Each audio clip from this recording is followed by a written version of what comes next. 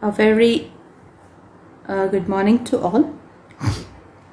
So today's class is on diabetes mellitus and uh, these are the following assignments which are expected from you at the end of this session. There will be two or three videos on diabetes, three videos on diabetes and after the end of each video these are the assignments which you have to submit. First, define diabetes and clinical features classification and note on uh, ADA criteria for diagnosis of diabetes, acute and chronic complications of diabetes, and glycated hemoglobin. I'll be discussing diabetes under following uh, headings. Uh, what is definition of diabetes, classification, clinical presentation, criteria for diagnosis, OGTT, complications, acute and chronic, HbA1c, glycated hemoglobin, and management of diabetes mellitus. So, diabetes mellitus is actually a Greek word where dia means through and benin means to go. Mellitus means sweet. So, it is basically passing uh, the sweet through the urine. It is defined as a group of uh, metabolic diseases characterized by hyperglycemia that results from defects in insulin secretion, insulin action or both. Now, if we have to talk about the uh, normal fasting plasma glucose or serum glucose level, then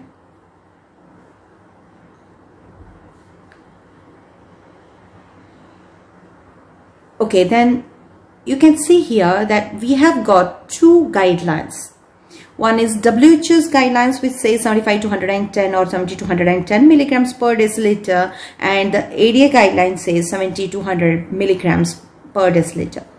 And the major difference here I, which I would like your attention upon is that WHO says up till 110 milligrams per deciliter as normal blood glucose level whereas ADA prefers to maintain the high, high highest uh, outer value uh, cutoff value to be 100 it believes that if we maintain within this range then a better glycemic status in a longer run is possible.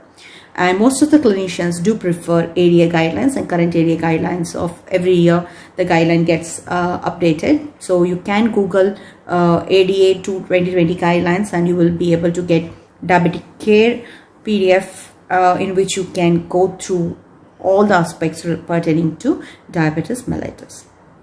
So let's now talk about the classification.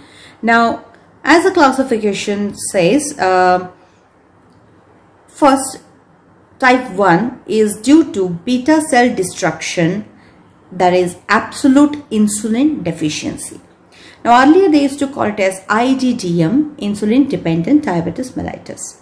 Now nowadays we don't use the word IDDM because uh, there are many type 2 diabetic patients who do uh, require insulin. So it is now obsolete to use insulin dependent diabetes mellitus.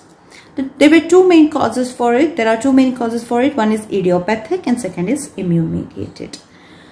Like developing antibodies towards the GAD antibodies to insulin beta cells of uh, islets of Langerhans. So likewise, there are many other uh, causes which we have already discussed when we spoke about insulin topic. Now type 2 is due to progressive insulin secretory defect in the background of insulin resistance. Earlier again it was called as non-insulin dependent diabetes mellitus but nowadays we just call it as type 2 diabetes mellitus. Now again in this we have two types obese and non-obese. Then we have gestational diabetes mellitus which is diagnosed in second or third trimester of pregnancy and diabetes due to other causes. There are many other miscellaneous causes like neonatal diabetes, MODY that is maturity onset or diabetes of young, exocrine diseases of pancreas like cystic fibrosis, drug induced etc. There are many more causes uh, but these are the major classifications according to ADA. Now type 1 as I already mentioned it is when there is absolute beta cell destruction and giving rise to absolute deficiency which as I already mentioned could be because of autoantibodies to the cells uh, like GAD and, uh, antibodies and uh, uh, even there are diagnostics which are available to diagnose presence of GAD antibodies. Age of onset is usually less than 30 years and these are the people who are more prone for the acute complication of diabetes or ketosis. Type 2 is insulin resistance and it is usually seen in patients more than 40 years of age and most of the times the patients are usually obese. However, non-obese category is also quite possible. Let us discuss about the diagnostic criteria for diabetes mellitus.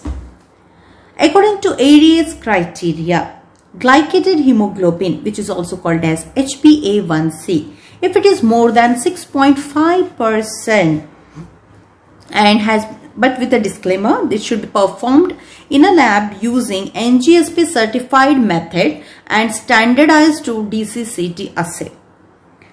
Then these values definitely hold good.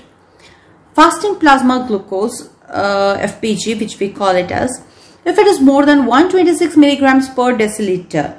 And when do we call fasting? When there is absolute calorie restriction for at least um, more than or equal to 8 hours. Or 2 hour plus uh, uh, post uh, prandial glucose uh, post glucose uh, more than 200 milligrams per deciliter during an OGTT using 75 grams of mon and monohyd sorry anhydrous um, glucose which is dissolved in water. In persons with symptoms of hyperglycemia or hyperglycemic crisis, random plasma glucose of more than 200 milligrams per deciliter is also considered as diabetes. So, in absence of unequivocal hypoglycemia results should be confirmed using a repeat testing. Can repeat it at different uh, intervals of time and then come to a conclusion. Unless clinical diagnosis is clear, same test to be repeated using a new blood sample for confirmation. If it is substantiated with clinical diagnosis, then definitely go ahead with di diagnosis.